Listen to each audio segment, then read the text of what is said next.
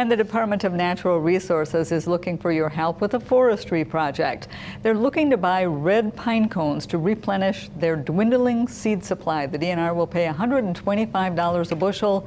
September is prime time to collect them as they turn from green to purplish brown and the reddish brown chips do develop as well.